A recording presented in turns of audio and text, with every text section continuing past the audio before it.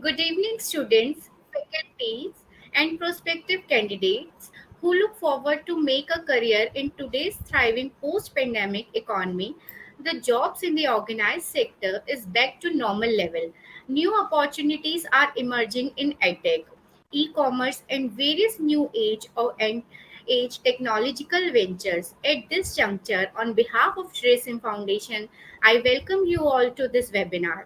Apart from being approved by AICTE Ministry of Education, Sri Sharada Institute of Indian Management Research is also recognized by Ministry of Science and Technology, Government of India as scientific and industrial research organization, a noted research institution.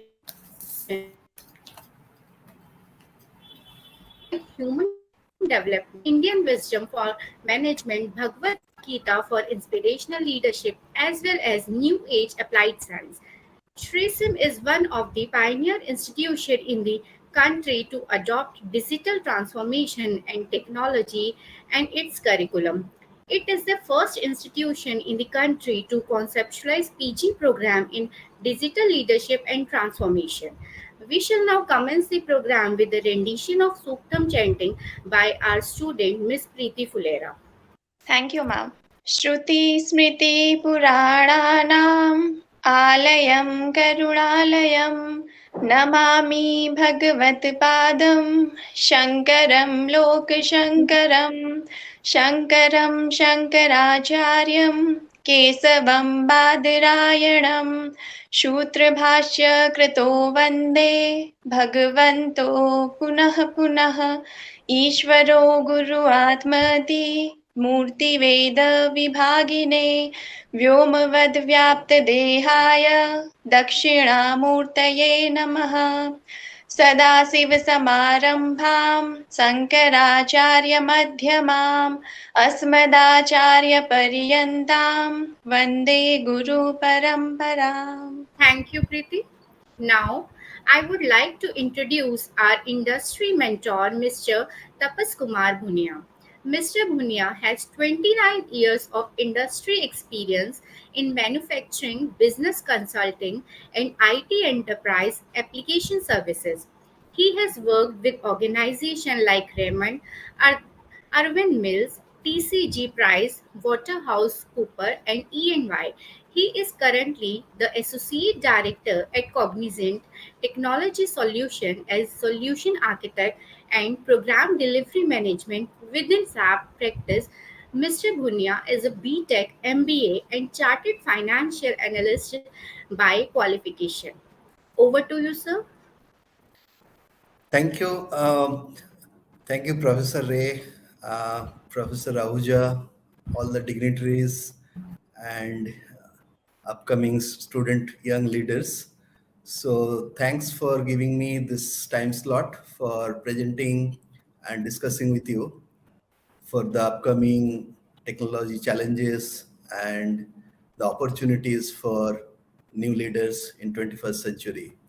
So uh, can I share my uh, slides? Thank you. Uh, thank you, all of you. So today, actually, I'll talk about, you know, so our um, young students or prospective students, uh, what are their, you know, so career choices. And while you are choosing your career, what are the imperatives in this 21st century? So are you really ready uh, to take up that challenge? And do you know those opportunities coming up this 21st century? I'll be discussing on that. So before that, uh, getting into the career choices and uh, upcoming opportunities in 21st century, I'll recap, you know, our uh, history of humankind. Uh, so I'll not get too much time in here, but just to highlight what was our differentiator as a species, as a humankind, and differentiator over other species, and why we could evolve up to 21st century. So just to recap, you know, so formation of the plant was around 4.5 billion years from now. And, you know, so the human beings actually evolved around 2.5 million years from now in Africa. And around 300,000 years back, we started using fire. Around 70,000 years back, so our cognitive revolution started. And if you see only 12,000 years before, we had this agricultural revolution and we could domesticate animals and plants and we can start the permanent settlements. So, and only 5,000 years before, so first kingdom started, probably some of you already remember that Hammurabi code, which was very famous. And since then, that kingdom started. And around 2,500 years before, so our invention of money, that is coin money, and the transaction mode started, which is an universal mode of transaction. So from this page, actually from this slide, we can understand, you know, so throughout this revolution, evolution process, we acquired our cognitive skill and cooperation and innovations. So which other species could not. That's why humankind is actually, you know, dominating in this planet called Earth. So then in this period, we have actually developed our imagination power and hope for the future. See, today we talk about money. There are, you know, so multiple currencies from different countries. So it's an human imagination. There is no physical existence of money. It is only in the imagination. So for mode of transactions, that beautiful invention or came out only 2005 years, 2500 years before from now and then only 500 years ago our scientific revolution started and 200 years ago the industrial revolution came up okay and today in this present time so we are you know so empowered with nuclear weapons that threaten the survival of the humankind not only the humankinds the entire organisms and species of this plant so we are so advanced with our science and technology. So what is future then? What is left with us? For the futures, are we creating a superhumans? So that's the questions for today's discussion. So there is scientific revolution and this today's era, the intelligent design is the core of our strength for the humankind.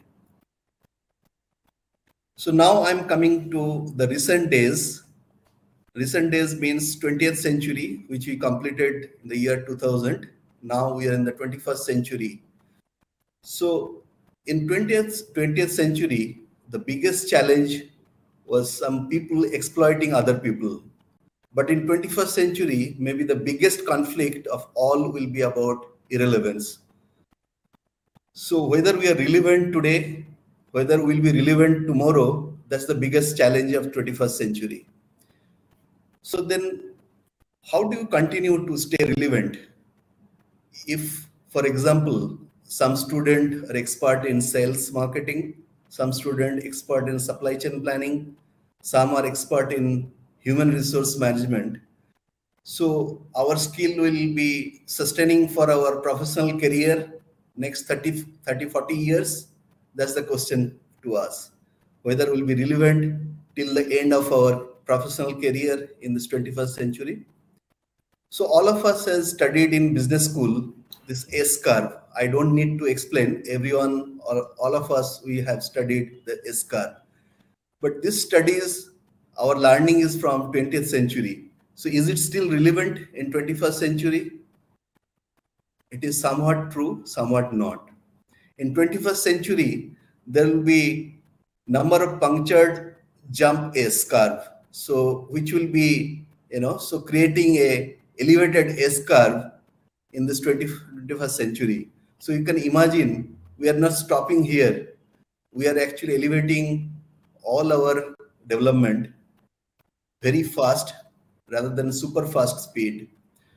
So what is the obstacle to achieve this super fast speed or advancing ourselves.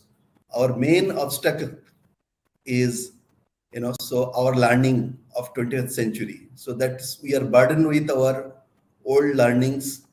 So way we think way we work that still continues from 20th century. We the seniors still you know guide our students and youngsters with our burden of 20th century knowledge. So 21st century somewhat is different and complex. So how it is complex we'll understand today so if you see the history of information technology and the flow of informations in the only in the recent past in last less than 20 years that mobile technology and the internet technology came up and the massive global information flows started that digitization and its exponential impact started. Not only that socially created informations is most important today whether we go to office we go to shop shopping mall or we do our day-to-day work but we engaged into social media and share our information. So we are generating huge amount of data and information flow through our social platform.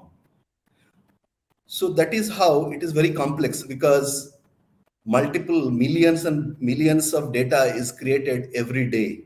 And it is a massive information flow actually impacting our decision making process.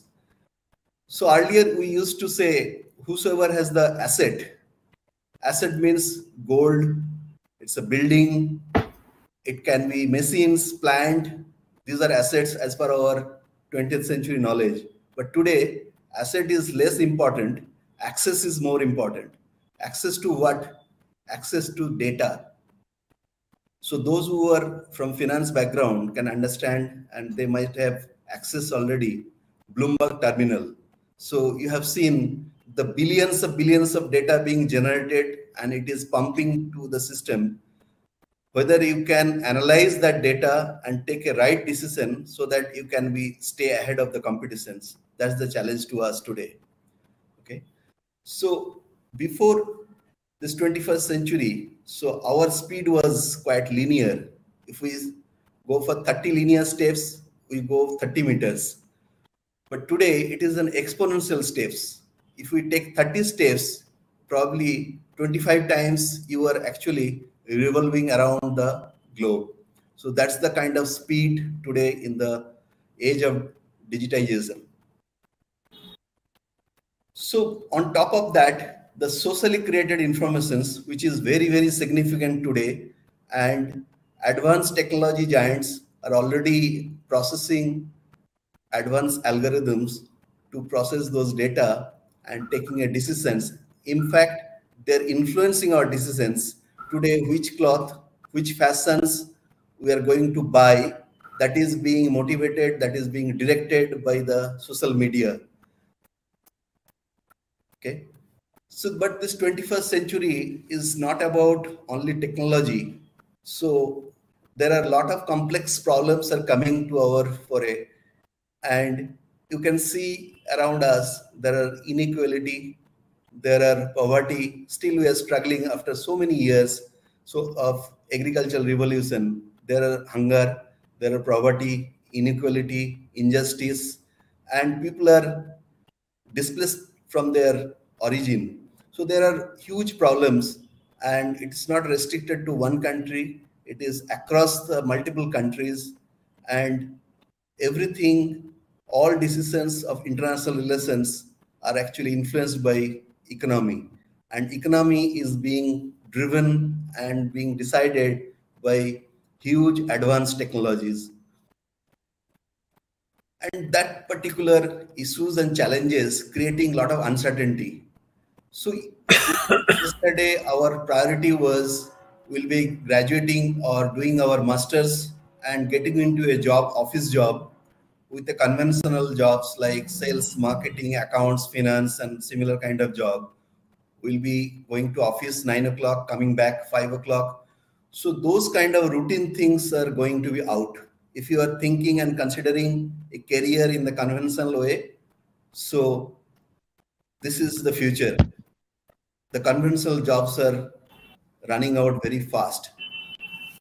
So let's understand what is that complexity and the complex systems around us. What is complexity? So complex system is one that has the capacity to respond to its environment in more than one way.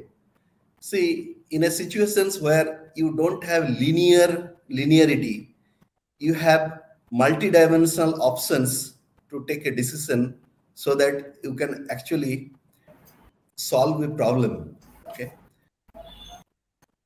So this linearity was actually invented during the industrial age when the industrial revolution came in last 200 years of history so everything we considered a linear in a machines we think still we today we think mechanically if we push this way it will move this way no this industrial age conceptions is getting, getting changed very fast so conception of machine movement is actually going out so forget about linearity and efficiency.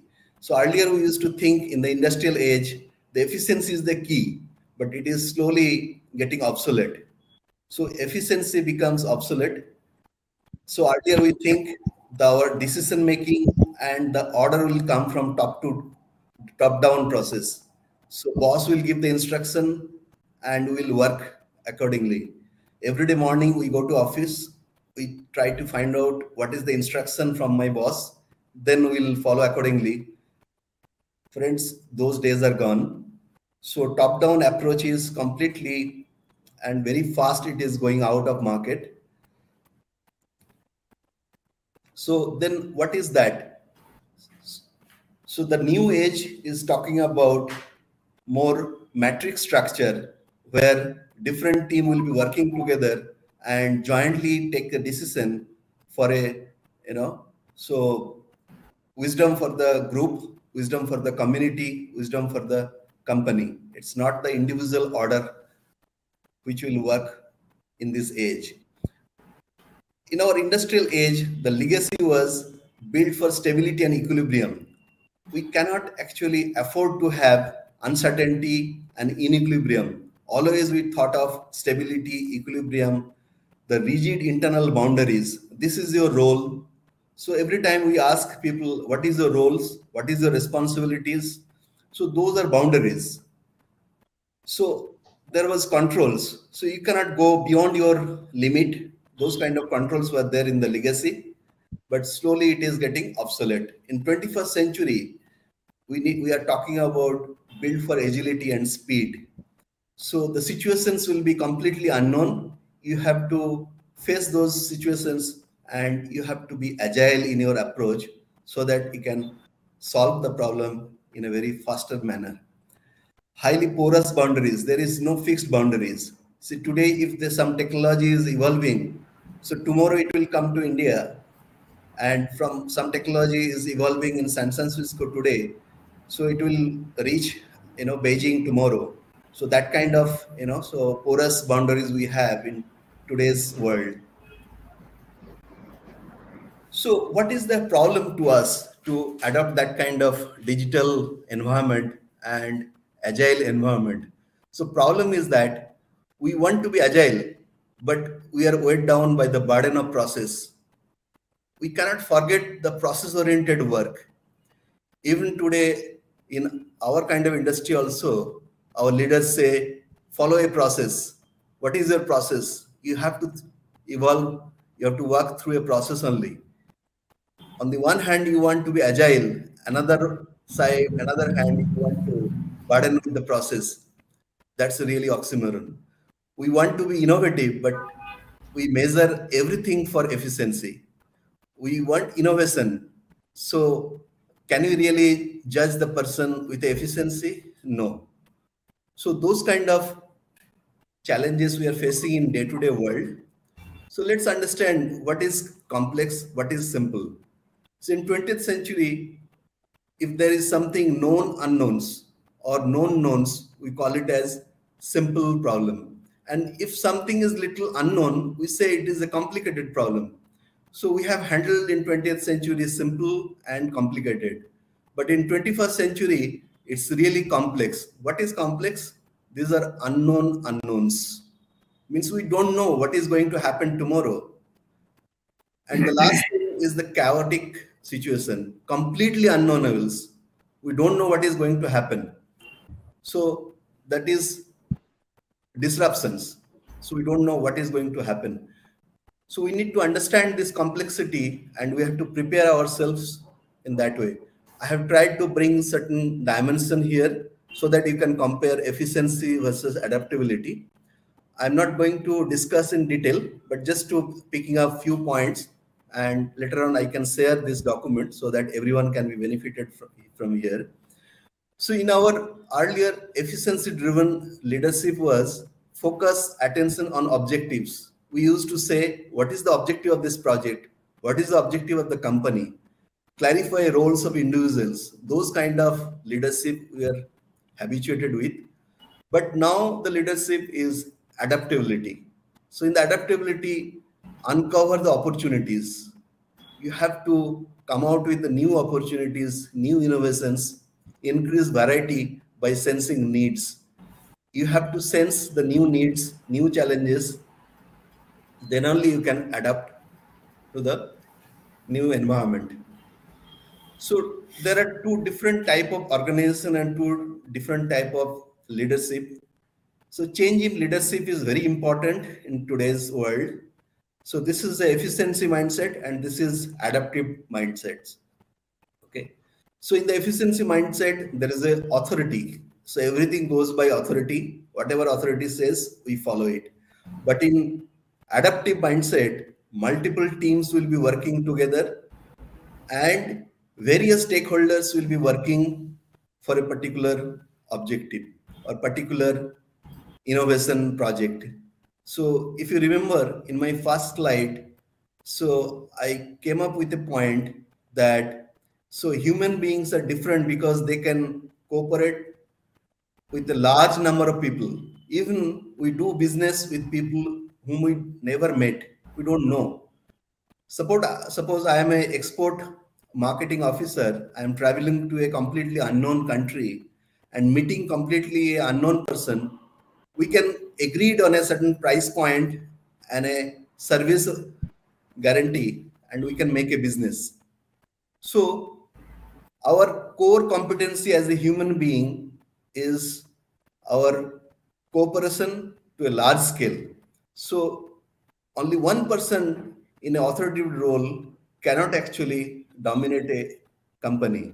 So we have to work together cooperate each other. Then only we can expect a huge innovative ideas, innovative product and innovative services. So earlier we thought of, you know, so leaders, we are completely infatuated with leaders. We have heard of very famous leaders. We follow their guidelines, principles. Sometimes we buy books to understand their life, biographies and all. But believe me, in 21st century, so leaders are not important, but leadership is more important. When you talk about the leadership of Indian leadership, so Indian leadership means our leadership on technology innovation, our leadership on agricultural innovation, our leadership on manufacturing technology, and so on and so forth. A single leader will make the magic, work like a god, so those kind of thought process will be completely eliminated in 21st century.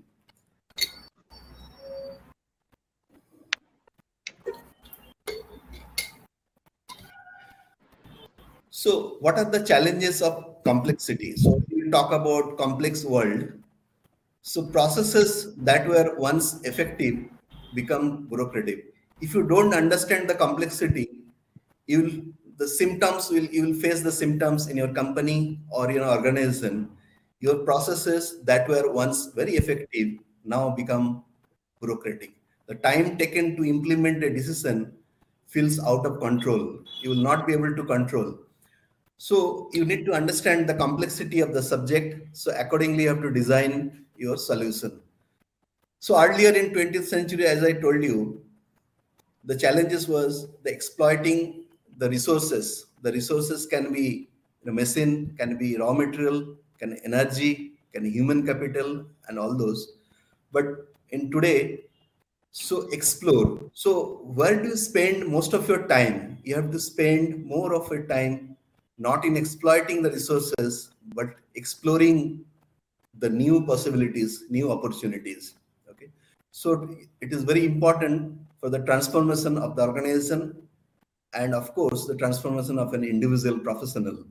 In 21st century mind tools will be dominated by generosity, empathy, curiosity, humility, and openness. So what is that the way forward for us? So we have discussed the challenges, we understood what our what is our core capability, we understood what was our mode of working in 20th century, challenges in 21st century, but what is the way forward, where we are moving now. So what is that complexity? Get prepared for and understand the complexity of the world around you. Dear young leaders for tomorrow, so you have to understand the complexity of the world around you. Know your core capability, build around that. It is very important before choosing a career what is your core capability? Are you strong in particular subject? Are you strong in communication? Are you strong in writing mathematical algorithms? Where your capability is lying with? Make a right choice earlier in your career. Sometimes we think okay tomorrow we'll be passing out graduating from institutes and we'll be doing the jobs then we'll think after 10 years then what is our suitable spot for a career. No, it is very important to choose the right career at the earlier age. Think hmm. innovative. Whatever you do, mind that you are a citizen of digital world. Okay. Bring a long-term view of the strategic choices to overcome extension existential existential challenges of the species. So strategic choices are very important. Today, you have already heard of nuclear war, ecological collapse, all those huge challenges. But probably you're not familiar with technological disruptions, and that's the new monster. So technological disruption can create a havoc. So you need to understand and take a strategic choices towards that.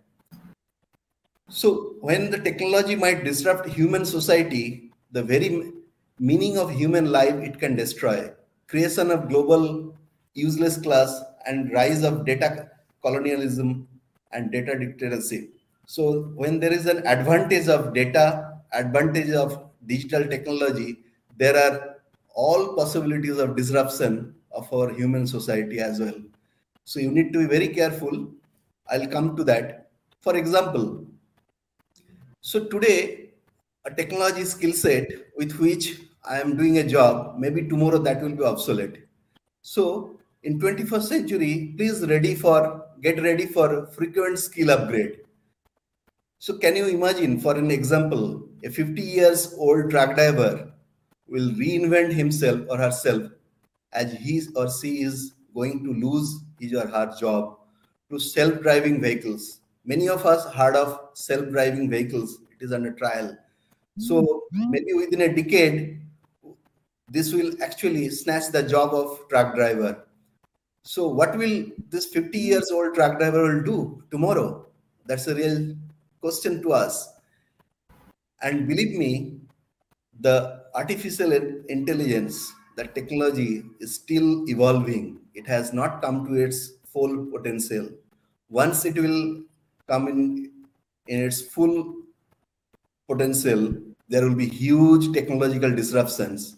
And the you know the professionals who are very much satisfied with their current portfolio they might face a huge challenge tomorrow. So i'll take five more minutes. Um, this might be you know last critical slides so in our digital society, so there is a huge impact on our international relationship also.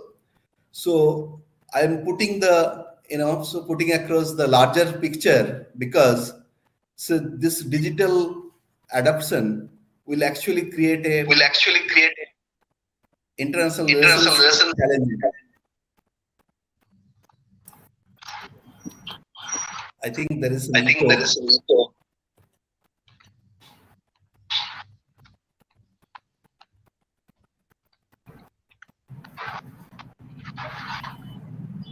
Am I audible? Am I audible? Yeah, there is some uh, problem of echo. Is Uh-huh. there is there any other microphone uh, switched on at your end? Mm, no. No. Okay. Uh, I think Rajesh, now it's better. yeah, yeah, now it is okay. It's okay. Okay. Okay. Okay. So major challenge will be facing number one is irrelevance and inequality. So in 20th century there was an exploitation. Those who fail in this century to adapt, you know, the technology or digital environment, they will struggle against irrelevance would constitute a new useless class, useless from the viewpoint of economic and political system. This is a huge challenge for the people who will not be able to cope up with the latest technology. The unprecedented inequality is expected in the next few decades. Two, there will be two classes. Suppose not only the two classes within a country, but between the two countries some country is adopting advanced technology some country is not able to adapt then there will be a huge inequality so wealth versus bankrupt and data colonies so what is that so the data and the artificial intelligence can actually earn a huge wealth for you. The ai will create immense wealth for you. And the few high tech hub like advanced countries they will be controlling that wealth while others will either go bankrupt or become exploited data colonies. So leads to so that what will be you know so going to impact in our international relationship or political environment. In the 19th century probably you have heard of that. So countries like britain and japan industrialized very fast and they exploited most of the world elsewhere. In the 20th century if we are not careful in 21st century the artificial intelligence we are already in the midst of artificial intelligence arm race between us and china and leaving most of the countries far behind so we don't know what is going to happen once there will be you know so multi-directional race of artificial intelligence across the countries so data capacity is very important and it can be used for, you know, so our advantage also. Like imagine a day when a company sitting in San Francisco or in Beijing will come to know on a real-time basis the mental capacities and weaknesses, medical conditions and personal history of our politicians, judge and the journalist and our policymakers do you expect a developing country will still be independent country or become a data colony? It is a real questions to us when there will be huge data and informations and we are capable to process that we don't need to send a soldier so we can hack the data and we can actually cripple a entire economy so here is a, my danger formula B into C into D equal to A double H. What is that? The biological capabilities. If you have the enormous biological knowledge about the human capability, about the human brain, and you have the computational power, and if you have the computational power and data processing capability, any human being can be hacked any human being can be hacked. So all of us are hackable animals. So you can understand with our digital technology in one side, we can get help to get improve our health technologies. Our modern life can be more comfortable. But if you cannot take a right decision at the right, time, so it can be hazardous to our society, to our independence also. So it is my appeal to the young leaders to save the humankind to save the humankind, the power to hack human can be used in good purposes also. You please use that for the good purpose only. So, like providing much better healthcare with artificial intelligence. But if this power falls in the hands of 21st century Stalin, then it will be a disaster. So probably you have heard it or accessed a newspaper notification or newspaper news in the media. In the year 2020, North Korea dictator asked the citizen to wear a biometric bracelet which can monitor the blood pressure, heart rate, brain activity 24 hours a day. If that happens, not only these medical parameters, actually your great leader can understand whether you are clapping and smiling or smiling when you are listening to that great leader or angry you are angry inside so they can access and understand your attitude your condition of brain. Then you will be facing the consequence accordingly. So in this today's day so humans rely more and more on artificial intelligence to take decisions. We are already in the era of algorithms and digital dictatorships is already started. The authority will shift completely from humans to the algorithms. You have already heard of google algorithm facebook algorithm netflix alibaba and so on and so forth. So with this route or with if we if this is the destiny so we'll completely will be philosophically bankrupt and fail to conceptualize the new heaven or the new humankind. So it is in the hands of our young leaders whether we are going to use properly the artificial intelligence in 21st century properly or not? So with this i'll be concluding my session.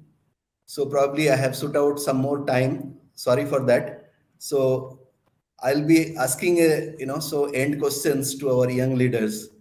What is a skill you believe to be a future proof my answer is the psychological construct of strength of purpose so you study on the, this topic and probably we'll talk on this later on if i get some opportunity so with that, thank you all of you for listening me and, and sorry for taking extra time. Professor Ray and Professor Ahuja, I'm sorry for that. Thank you, sir.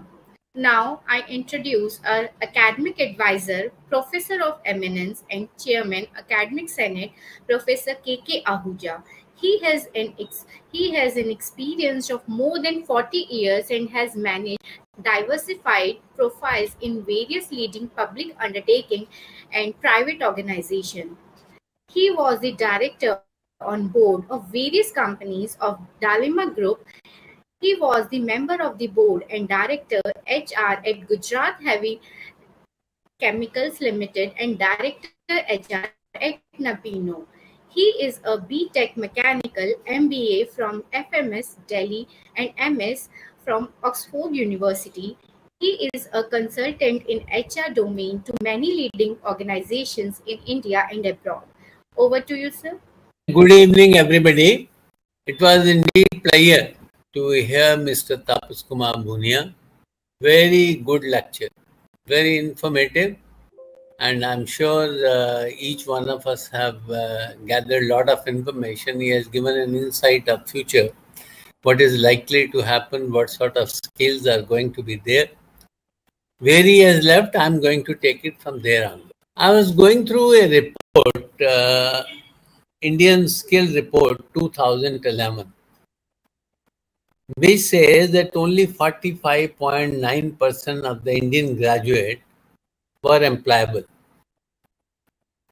And there is a decline over the past two years. Usually there is a disconnect between the curriculum taught in universities and the job requirement. Recent uh, NASSCOM study suggested that by 2020, two out of the three millennial would take up managerial job and the skill set required by the industry are different. Now, what are the skill set required by the industry? They want creative thinking, higher level problem solving, innovation, interpersonal skills, decision making. These, in addition to these, the softer skills will continue to rule. That is leadership, attitude, communication, and other behavioral aspects. The world is definitely going through a difficult and uncertain times due to pandemic era. The resilience and adaptability of individual get tested in such times only. The ultimate measure of an individual is not where he stands in the moment of comfort and conveniences, but where he stands at the time of challenges. Not getting disheartened in these times, but it calls for living up with undaunted spirit of staying ahead. Most of the participants here are PGDM or MBA from reputed management institutes and have are going to possess or have possessed the skills such as communication because a lot of emphasis is put in the institution on the communication skills positive attitude comprehensive and analytical skills strategic skills and leadership skills. Now when you enter corporate world where things are changing very fast the pace of change is mind boggling. Means uh, Mr. Tapas was telling how things have moved from 17th century, 18th century, 19th century, and 20th century. And he highlighted also the pace of change has been so high that most of the things have taken place during the last two, 200 years only 700 years before we started communicating with each other. Otherwise, most of the time, out of the 800 times of 62 years since the man has come on the earth, 62 times, 650 times the man remained in caves and not much of development was done, except for taking the raw meat to cooked meat. So, but now, if we see these last 50, 60, 70 years, we have seen almost everything. And the pace of change or the job profile or the KRAs, everything is changing so fast. You know, the organization structures are getting revised every um, one month or two months. The, as he rightly said, the matrix organizations are the governing factor. So the expected skills which the corporate is looking for is a vision, versatility, focus, patience, and sensitive to the relation. The other day, I was in an institute, Tricolite Electrical and uh, Manufacturing Company, they are the leader and the pioneer in the panel making company. They are the engineer trainees. There, I was talking to the engineer trainees. They have inducted quite a large number of engineer trainees as the management trainee. So, they, their curiosity was to find out how they succeed in life or in their profession. I suggested two things to them will to work and skill to work. Develop will to work and acquire skill to work. Skill comes from your experience, understanding one role, profile, process, technology, organizational dynamics, and will comes from within, from the desire to deliver. It comes from self motivation. It's come from inspirations from others. It comes from the positive strokes which you give it to yourself. I can do it. I'll do it. With skill and will, you acquire competence. That is ability to deliver with clarity of goals and purpose. For understanding, we need to discuss two prime areas that is overcoming self-imposed failures and positive approach to life. Now I'll shift to some presentation which will give you about these two concepts. Now, what is uh, overcoming self-imposed failure? Best example to understand this is a joint creature, elephant, can pick up 2000 pounds with its trunk is tied to a little wooden stake, yet it is calmly stays there tied. Why it happens like this? It happens because when the elephant was just a baby, not very strong, it was tied by a huge chain to an iron stake that would not be moved. Regardless of how hard he tried, it was not possible for him to move. It could not break chain and run free. After a while, it just gave up. Later, when really the elephant becomes strong and can do anything, he never attempted. He never tried to be free. The imprint is permanent. I cannot, I cannot say what he messages he has given to himself at that point of time that I tried many times, I couldn't succeed, so I can't be successful. That's the negative stroke which he has given it to himself at that time. That is not making him to move forward. Likewise, there are millions of people who believe like this elephant. They have best, they have been bound, tied, and told you'll never make it. Even I have seen many parents, what to talk of others, they keep telling their children, you can't do anything, you are useless. All the time they are giving the negative strokes to their own children. Instead of telling them, don't worry, this one time failure is not everything, you will succeed. No, instead of that, they will also join in a sad moments and keep telling him, okay, leave it, okay, leave it. So that's what is the coming out of the shackles.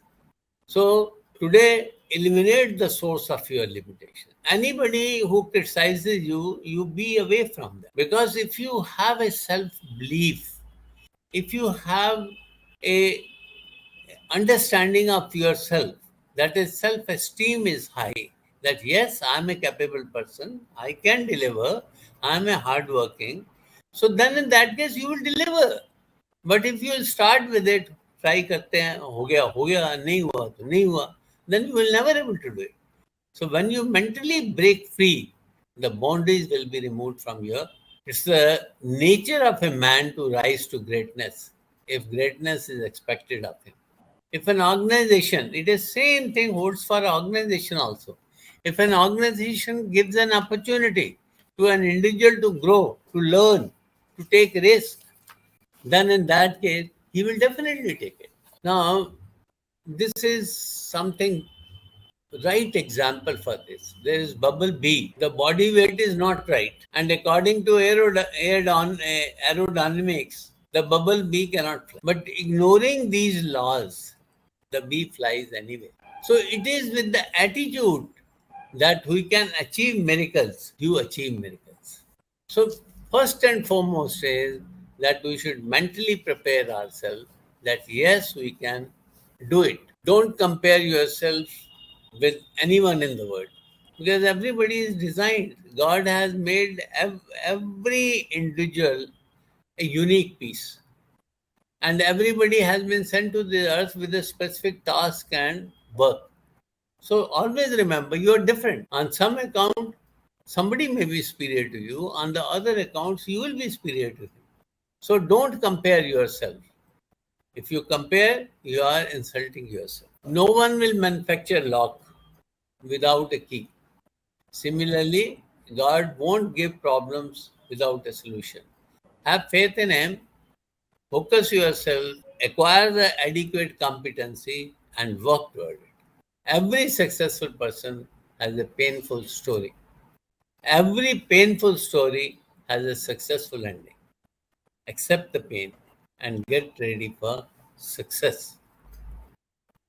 No one can go back and change a bad beginning. If something has happened, it happened, it has gone.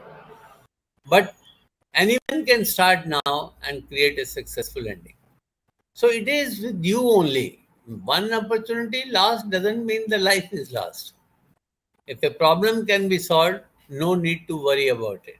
If problem cannot be solved, what is the use of worrying?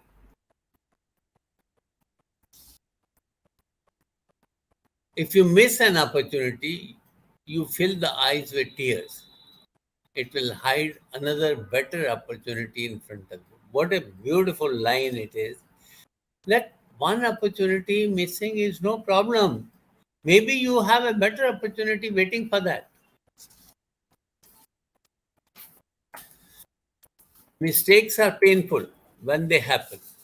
But years later, the collection of mistake is called experience, which leads to success.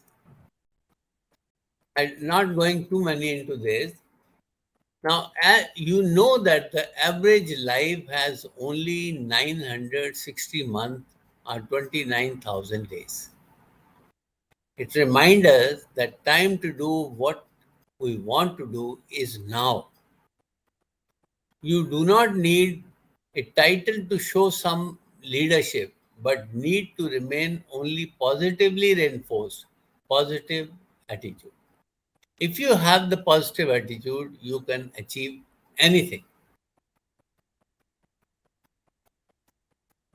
There is a big difference between saying I failed and I'm a failure. Never say I'm a failure. Never. There's no disgrace in, disgrace in saying that I failed which is just a fact of life. But you should never say, I'm a failure. Because you are failure only when you have decided to give up. In boxing, you are never declared lost the game. You never declared lost in the game when you fall down. But when he counts 1 to 10 and when you are not able to get up again, that is the time you have failed.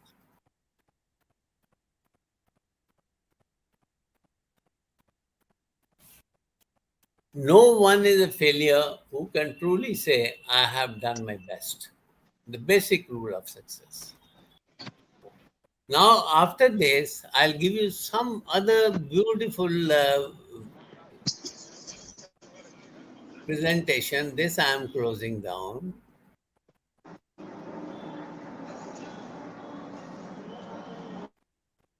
And going to another presentation.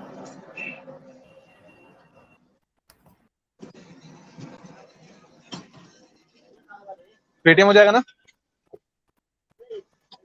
यही है? हाँ भाई।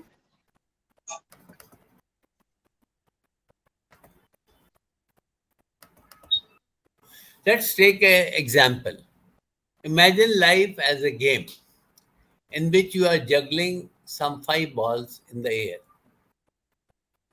you name them as work family health friends and attitude. You are keeping all of these in the air. You will soon understand the work is a rubber ball. If you drop it, it will bounce back. But the other four balls are family, health, friends, and attitude. They're all made of glass. If they'll fall, they'll break. They will affect your life. If you drop one of these, they will never be the same. How? Don't undermine your worth by comparing yourself with others. As I said earlier, we are different as each of us is special. Don't let your life slip through your fingers by living in the past or for the future. By loving your life one day at a time, you live all the days of your life. Don't give up when you still have something to give. Nothing is really over until the moment you stop trying. Don't run through life so fast that you forget not only where you have been, but also where you are going. Now, the these all things are to reverse the statement made by by Peter. What what he said that I'll just come to that later. Just one. Okay, after this.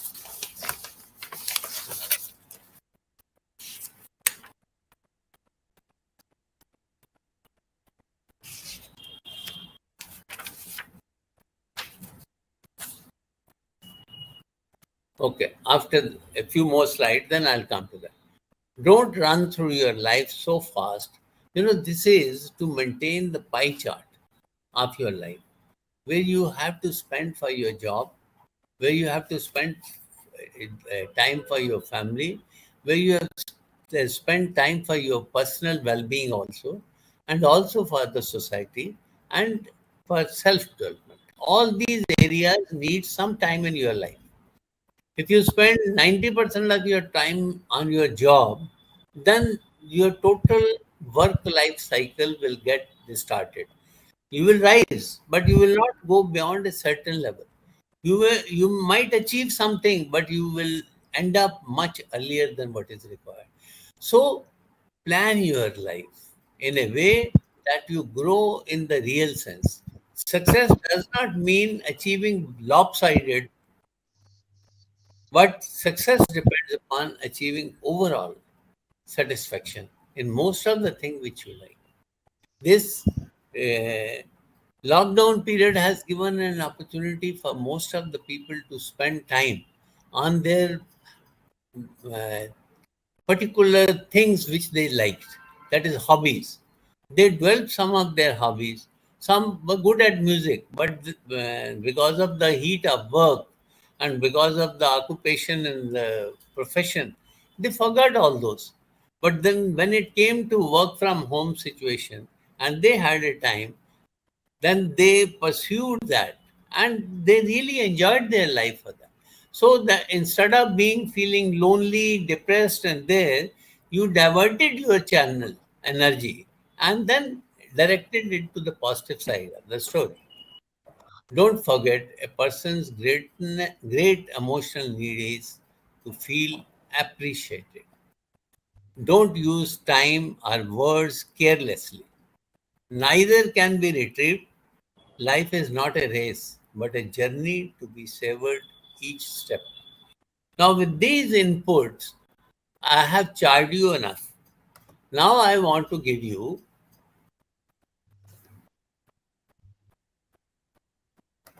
I think I have gone out.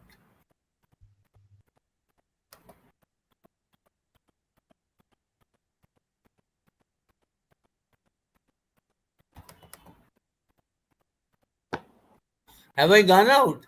No, no, you are there, sir. We can hear you. It's perfectly all right. All right. Then what need to be done is to have a positive approach to life. Pessimists see the difficulty in every opportunity. Uh, sir, but your uh, PPT is not visible.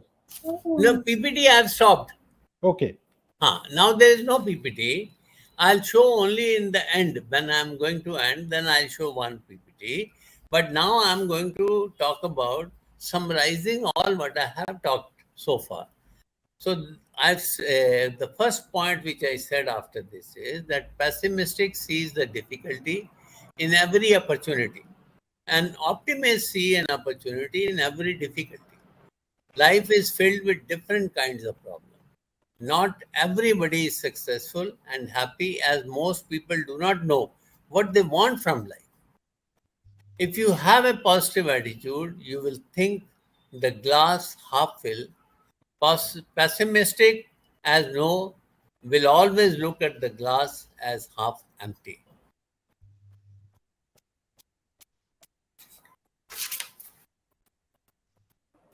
The life is a 10 to 90 principle, where life is 10% of what happens to you, on which you have no control. If you are caught up in a traffic jam and neither you can move forward nor you can go backward, now it depends how you spend that, how this, that 90%, how you spend that 90% to attend that 10%. So 90% depend on how you respond to 10% if no control scenario. So it is for you to be happy listening music. It is for you. You may lie down and uh, have a nap because if the driver or the shepherd driven car is there. But if it's something else in a different situation, handle it like this. You can reach, if you reach an airport, and you are informed that the flight is delayed by two hours. Now, how you react to that situation? It depends from individual to individual. You may buy, a, you have an option to buy a book and snacks and spend your time going over a cup of coffee, or go out, shout at the airline office, and create a negativity around. Everybody will come and see you shouting, and the airport authority will trying to pacify you. So that could be another situation. So behavior of people in such situation differ from person to person.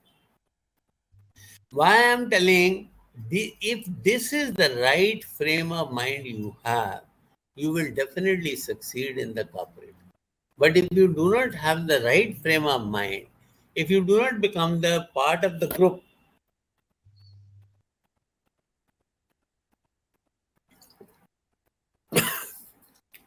even you may be very intelligent. Your individual intelligence does not play that important role. But your team working, carrying the team and being a part of the team and uh, projecting over a period of time as a leader is the success story. Some instantly start shouting and a few gets uncontrollable anger which gets manifested into abuses and even assault of time. Who is loser? You are the loser. So even in organization, you have a choice of making good friends, or you have a choice of making large number of um, people to uh, to be indifferent to you. May not be enemy, but indifferent to you. So when you need a work to be done immediately and you approach them, they will say, I'll do it, I'll do it. They will not provide you the right cooperation. And these are some of the difficulty which the these MBAs, because they think they have uh, known everything. And they go to the shop floor, they stand erect as they have come from IIT or they have come from IIM or they have come from another big institution and uh, they need not worry about this. The people should come and tell them. It never happens. You have to become part of them. Whatever is their designation, that should become your designation in mind and start interacting with them. You, they will tell you everything. The barriers will be broken at that point of time when you interact with them. So your behavior, that is your interpersonal skills, are very important to be successful in the new assignment. Because you do not know the skill. The skill has to be learned. And to learn the skill, you have to accept them as a teacher. And then you learn from them. So you, they are your teacher for that specific assignment. And you picked up that assignment. And then, same, if you see the army setup, it is the Subedar. He may hit you also. He may abuse you also. He may keep you standing in the sun also. But the moment you complete your training and you become lieutenant or second lieutenant, he is the one who will salute you. Thereafter, whole life Thereafter, whole life He will salute He will you. salute you. So that is that is what is the sound? Is some problem? Now it is okay, sir. Okay, okay, okay, okay. Uh, look at things around you and you have a choice either to create negativity, sadness, fear, anger, depress, uh, depression, or create positivity and happiness. Happier people do not necessarily have the best of everything, remember, but best of everything that comes along the way. But make the, be- the best of things as a happy moment.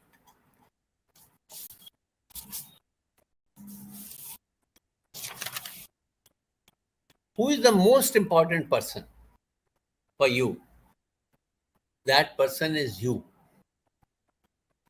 Be the driver of your destiny and understand the priceless gift, the joy of work, the joy of living through positive mental attitude.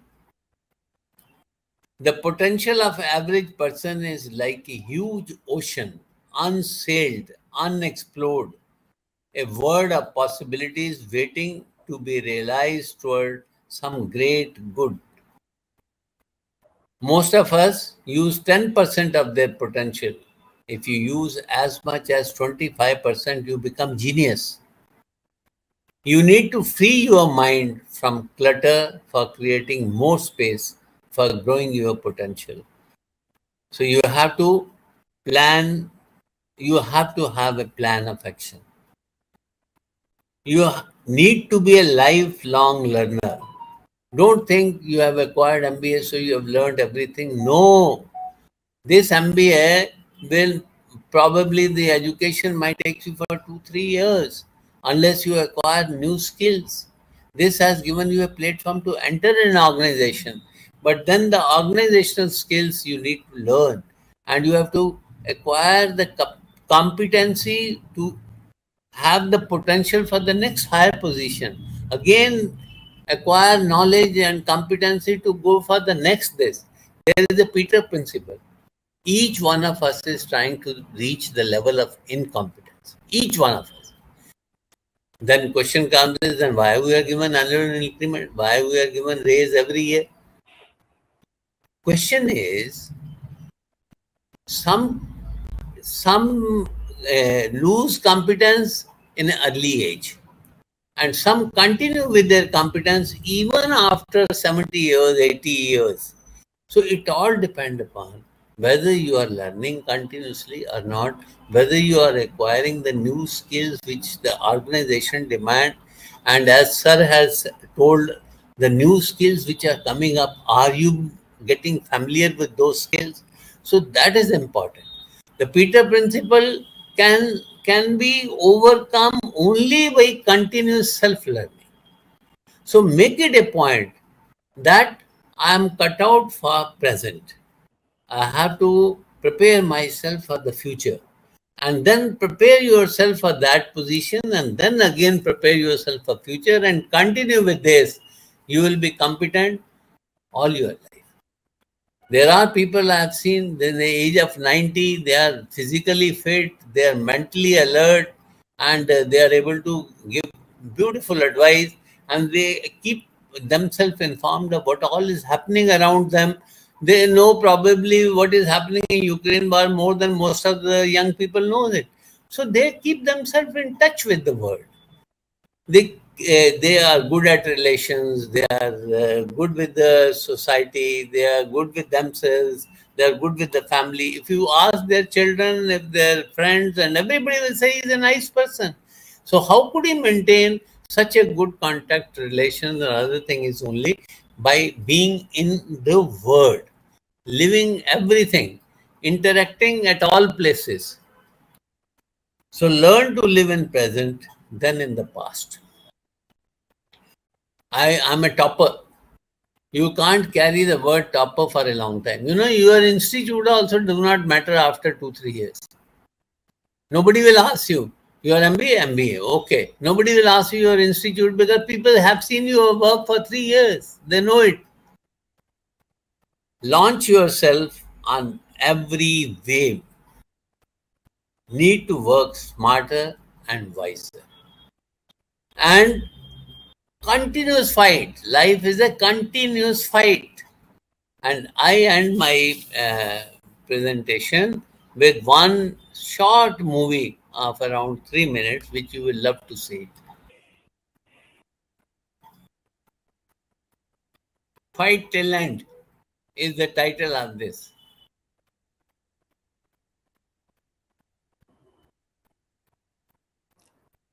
The sound is not coming. Hmm. Sound is not coming. It is 100% here. I think now it has started, the sound. Started, na? Huh. Correct. Even the sound is not there, you will be able to understand it. Okay. The title is To Fight Till End.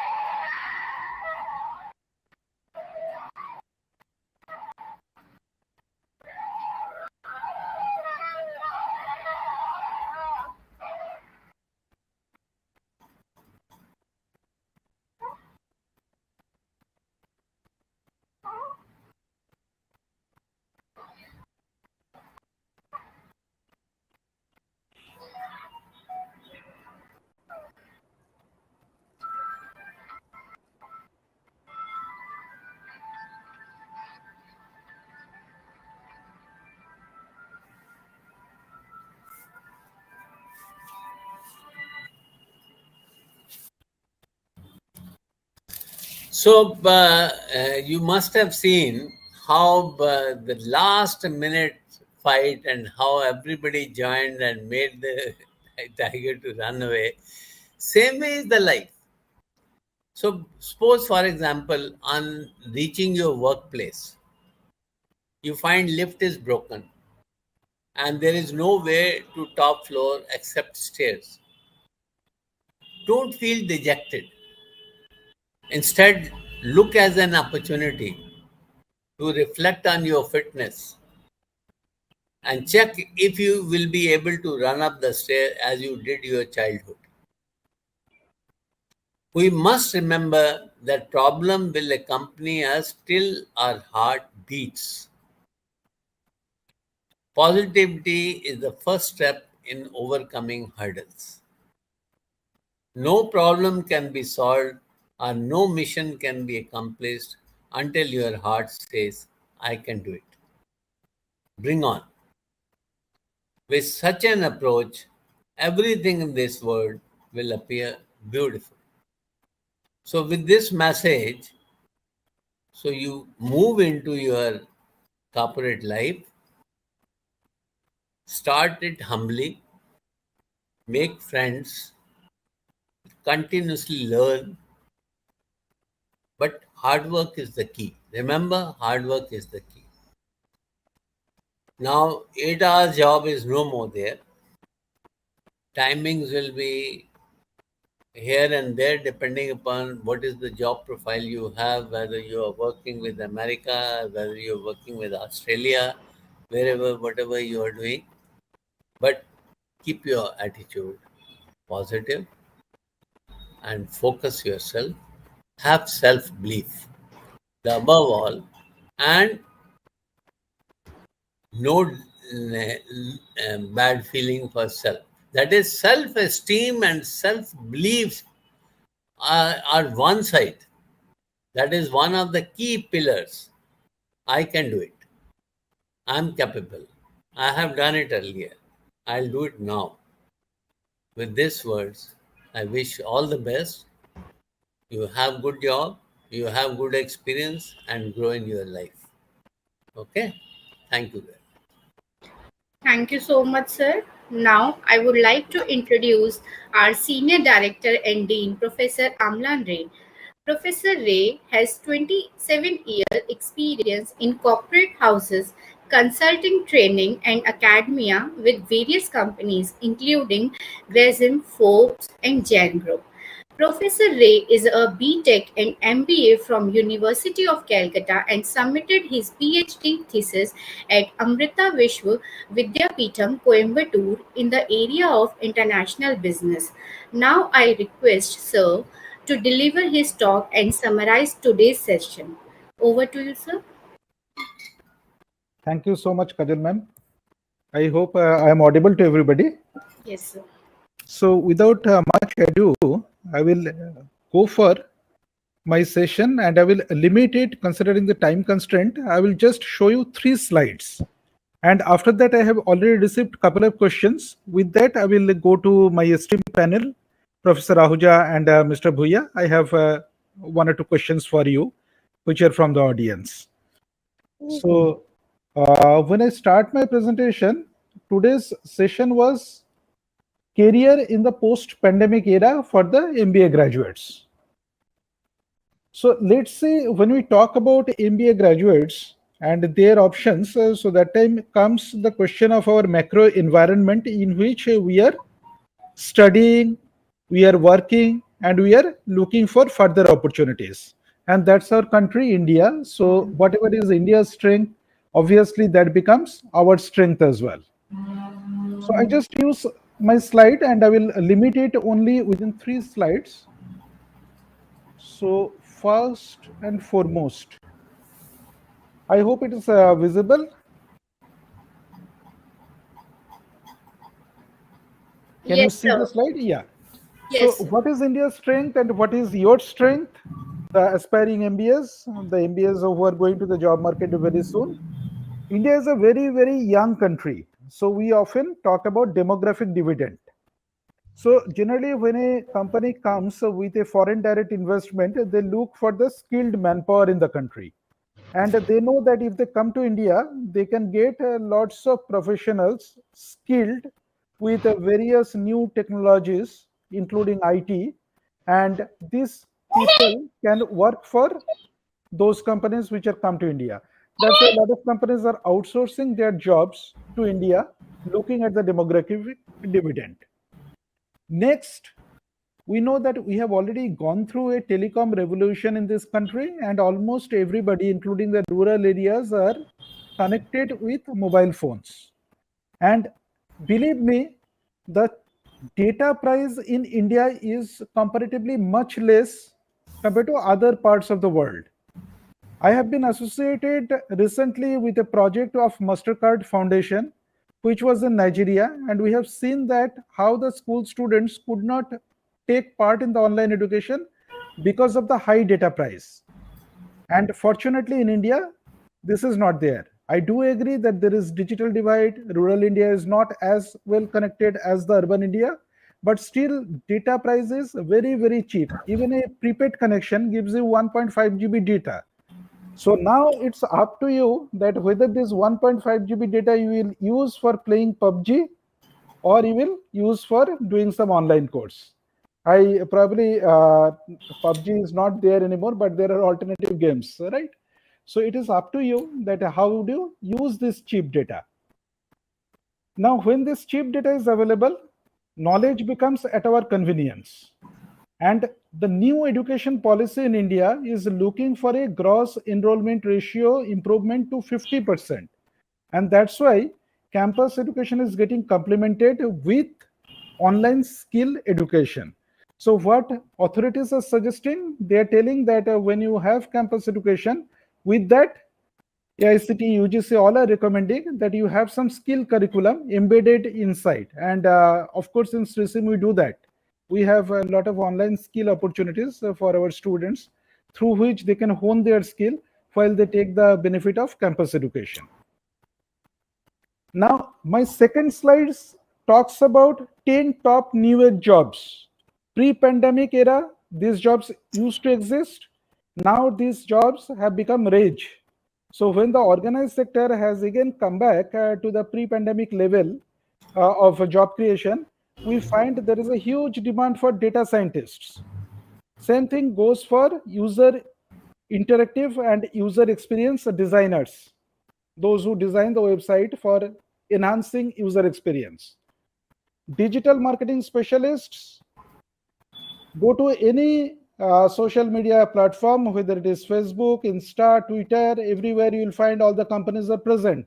And what they're doing, they're bringing social media influencers and YouTubers so that they can map the mind of the consumer.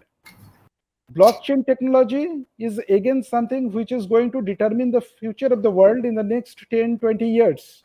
Blockchain is accepted, not necessarily cryptocurrency. Cryptocurrency is not still legalized in India but blockchain we cannot avoid blockchain will adopt for any kind of financial transactions it has got much wider perspective so blockchain engineering is another thing social media managers yes of course when companies manage their social media accounts they require social media managers online advertising manager i surely know that youngsters today the amount of ad you see in television or in radio you see more ads online and finally comes uh, where Mr. Taposh Bhuiya began. That is the artificial intelligence and machine learning specialist. Of course, that requires some kind of modeling experience, some more advanced knowledge. And but you can always equip yourself with all these things. And this is most fortunate situation for the MBA students when they can adopt all these above 10 skills. These are acquirable by any MBA graduate by just a little perseverance and uh, self-motivation, I will say. Uh, Ahuja sir talked about motiva motivation and self-motivation is the need of the hour for everybody. So you are skilled, the world is yours. The world will look at your skills. Now, when we are talking about culture of skilling, traditional jobs are also coming up at the same time, we have seen new platforms like Fiverr and Upwork. Millions of jobs are created in Fiverr and Upwork. And just I was listening to one of the interviews by one consultant of ABC Consultants, which is uh, the most known recruitment consultant in the country. They were telling that Upwork is not only giving you gig jobs, it is not only for the freelancers, it's offering permanent positions across the world. So, what do they do? they do not take you into their country but one job posting i was seeing it is in sweden this is a contractual job for a year you work for a swedish company and once they're happy with your performance after a year they will absorb you with all the full benefits so one year is for your professional uh, professional skill enhancement as well as a professional acquaintance with the company. And it's a full-time job which is offered in Upwork and uh, similar things are available in Fiverr also. And when all these things are coming up, that the time government of India is doing their job. What are they doing? They're in advanced talks with various countries like Australia, Japan, United Arab Emirates for Mode 4 services. Mr. Bhuya can tell us more about Mode 4 services, but as I have used this term in slide, I just tell you what is Mode 4 services. As per GATT and WTO definition, there are four modes of services exports. Out of that, Mode 4 services is the most profitable thing for the country as well as for the citizens of this country, in which you can go abroad and work there. They give you the work permit. And these things need to happen in India because we have huge population, huge youngsters, and everybody may not remain in the country. So uh, departments like National Skill Development Corporation, AICT, they're in advanced talks with these countries, educational authorities, so that our degree, diploma, these things are eligible for our students, our candidates to work in these countries. And it is happening. And that's why AICT, UGC are encouraging to add skill-based curriculum in MBA studies. And these are the things which are going to shape the next few years at least by the time you pass out, by the time you start working or you do your MBA and then you are in the job market, these five to 10 years is absolutely crucial for you. And once you are well aware about these things and you use the data power, data power means I'm talking not about data science or any hi-fi technology. What I try to mean is that the data power you get from Reliance Jio data power you get from Vodafone Idea or data power you get from Airtel. They give you cheap data at a very low price and internationally competitive price. So make best use of that and definitely the world can be yours in the future. With that, I end my talk or presentation. I thank both the speaker and before I go for a formal vote of thanks, I would request Professor uh, Ahuja sir and uh, Mr. Bhuya to take up two questions. First question is for Mr. Bhuya. The question is, we understand that in the country now mass recruiters are companies like CTS, TCS, Mindtree, etc. And uh, we understand that uh, you are from one of those companies, you are representing those companies. So what skill sets the fresh MBAs should have or how should they prepare themselves for entering into the companies like yours. Over to you, Mr. Bhuya. Okay, thanks for the question. So, am I audible? Absolutely. Okay. So, uh, first of all, uh, let me uh, clarify. See, most of the people uh, think uh, to work in a IT company like TCS, CTS, or similar kind of companies, you need to have a software background and you need to be a software developer. It is partially true, partially not true. So even without, you know, so having your software background or development background, you can join an IT company, equivalent to a software engineer. So opportunities coming up, there are two kind of categories of jobs are there. One is technical developer, another is functional developer. So the traditional MBA graduates who are passing out they have subjects like sales and marketing, human resource management, finance management, operations management, or similar, uh, you know, so streams. So, but believe me, without any technical background, you can actually acquire a digital platform certification. For example, suppose if you are a HR professional and you have specialization in HR, you must learn technology like it is provided by Oracle Compass. So it is a platform for the HR. So if you are trained and certified, so you are actually in front of the queue. So you have most probability to get a job. Similarly, equivalent technology in SAP. So there are success factor. So in HR, there are different streams like personal administration, organizational management, you know, so performance uh, evaluation, payroll, those kind of areas, there are separate modules are there. It's a vast subject. You can acquire one of those area and easily get certified within six months of time. While you are doing MBA, you can specialize in a particular area. Similarly, those who have the commercial background and want to be in finance domain, believe me, without technological knowledge or without, you know, so working in software platform, you cannot be an accountant today. So there is no conventional way of doing keeping the books of accounts. So it is all on, you know, so software packages. So you get certified with a package like SAP FI, financial accounting, Oracle Finance, or those kind of products.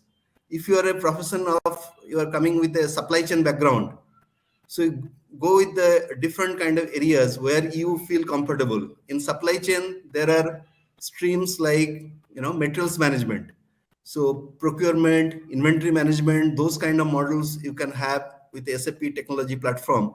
Within six months, you can actually learn and certify yourself. So immediately you will get absorbed. And if you want to be advanced supply chain planning, like supplier planning, you know, or demand planning, those kind of softwares, you have n number of softwares, but you need to know which one you should pick up and get certified. Because see this product's life cycles is very short. As i was telling you know so skill set is very fast changing.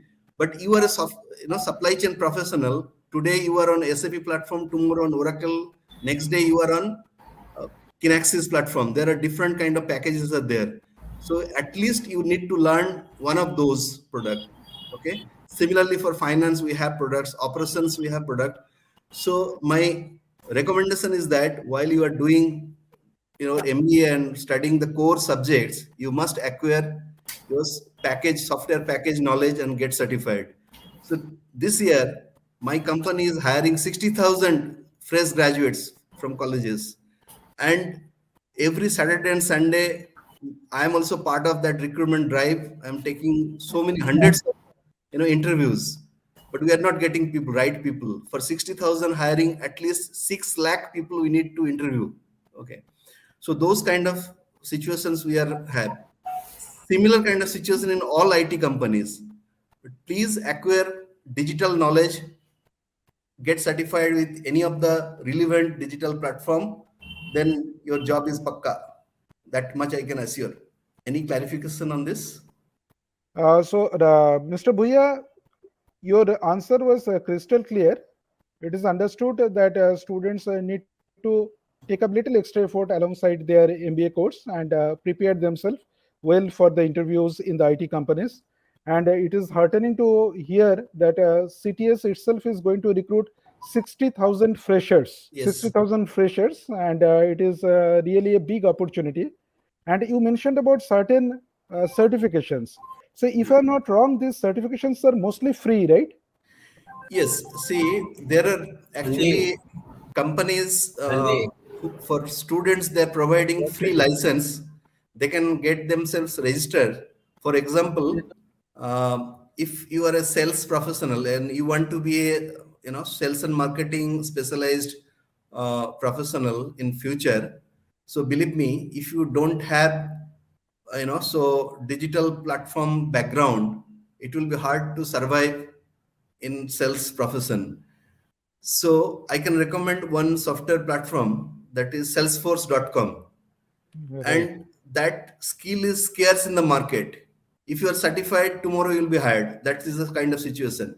And you can actually learn without any fees during while you are appearing for the certification exam. You can actually, you know, so you have to pay a little bit fees, but this is very nominal fees. You can log into salesforce.com, Trailhead, so they have the community of called Trailblazer. So within two three months, you can actually acquire one of the the skill set which they are providing, and you can get certified.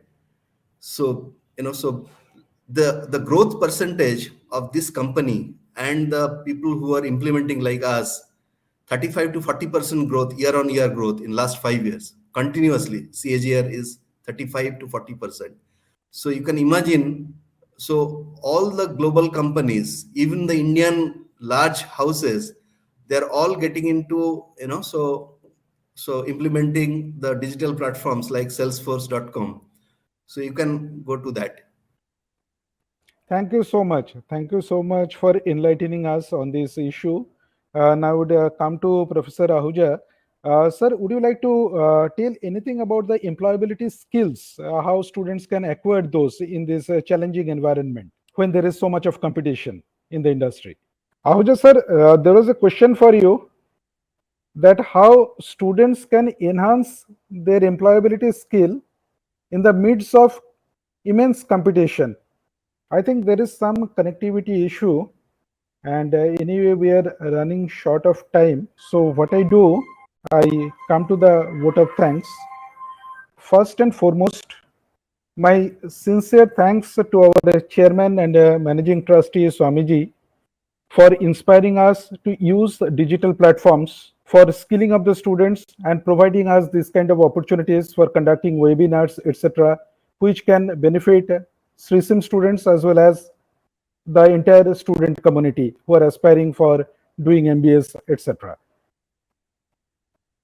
Uh, thank you, sir, for sparing your time from your busy schedule.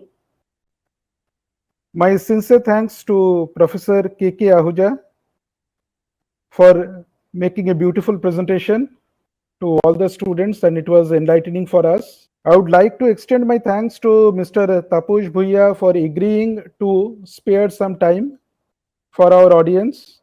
And we can understand that you have huge uh, job pressure and on Saturdays, Sundays also you are busy with the interviews.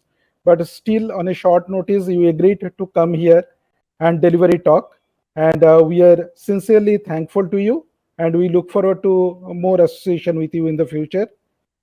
My sincere thanks to the entire audience, all our faculty members, students uh, who have been in this platform today and made this webinar successful. And I would like to extend my thanks to the technical team who are behind making this uh, webinar today uh, with the our own student faculty as well as the students community from other institutions. So thank you all. Have a great evening and we look forward to meeting you again. Over to you, Kajal ma'am. Thank you, sir. We are overwhelmed to see participation from audience in various webinar and online events conducted by SriSIIM. We will share the invitation for our next webinar with you all soon. Thank you all and good night. Thank you.